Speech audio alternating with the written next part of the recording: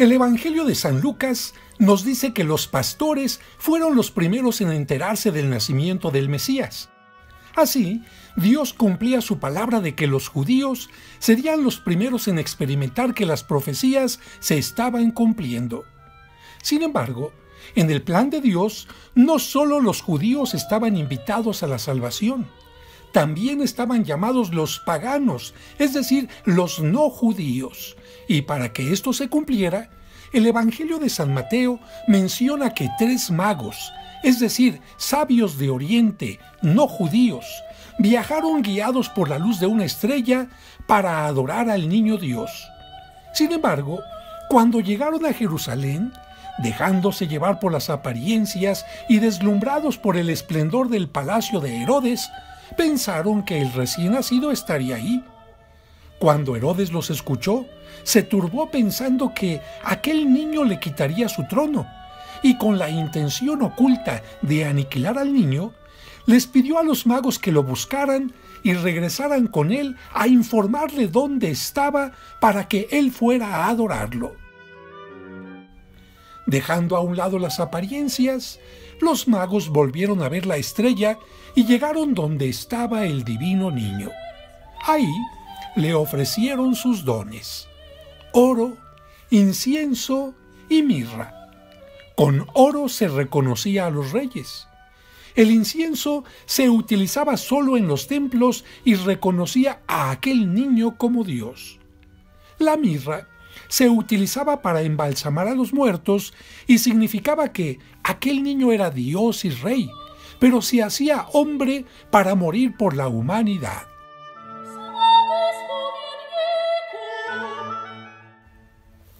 Avisados en sueños de que no regresaran con Herodes, los magos regresaron a su tierra.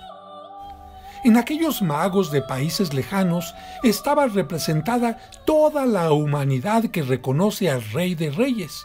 Por ello, se les representa con las tres edades, joven, adulto y anciano.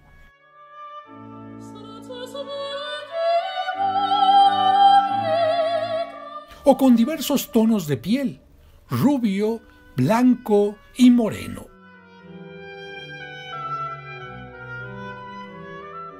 La tradición menciona que, después de la resurrección de Cristo, el apóstol Tomás viajó al oriente a buscar a los magos. Les enseñó todo lo predicado por Cristo y los convirtió en obispos de sus respectivas ciudades. Más tarde, en tiempo de la persecución contra los cristianos, los magos fueron martirizados.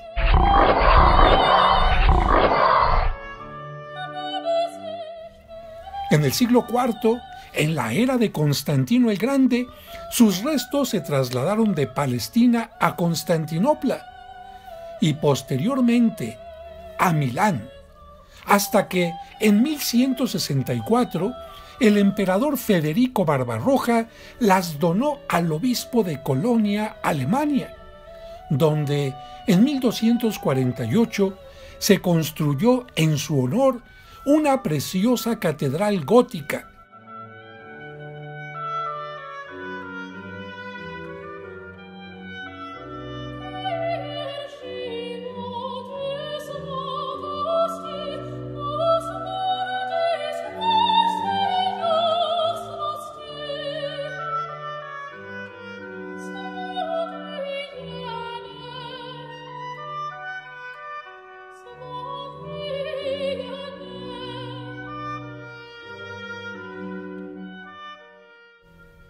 y aunque la ciudad fue bombardeada en la Guerra Mundial,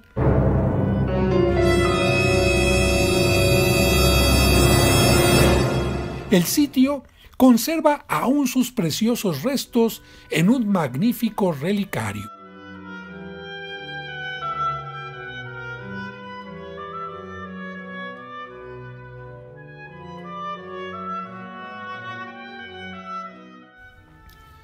Aunque los Reyes Magos terminaron su tiempo terreno, su espíritu sigue actuando y haciendo que muchos niños reciban, como el niño Dios, regalos de amor. A ellos se dirigen cartas de esperanza e ilusión. Y mientras los pequeños y sus almas inocentes duermen, sus zapatos, llenos de ilusiones, esperan ansiosos la llegada de quienes nos enseñaron a adorar a Dios en un niño. Por cierto que a los Reyes Magos se les comenzó a representar desde los primeros siglos del cristianismo en las catacumbas.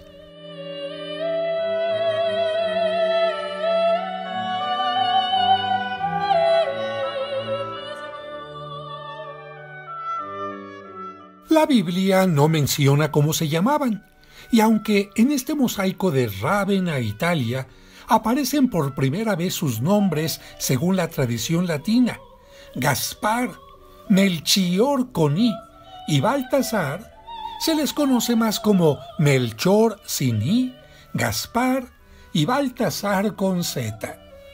Gaspar es nombre de origen persa y proviene de Kansbar, que significa administrador del tesoro. Baltasar, de origen asirio, o su variante Belsasar, significa Dios protege al rey. Melchior tiene un origen desconocido. Otras tradiciones les dan a los reyes magos distintos nombres. La tradición siriaca les llama Kakfa, Badadilma y Badadakárida.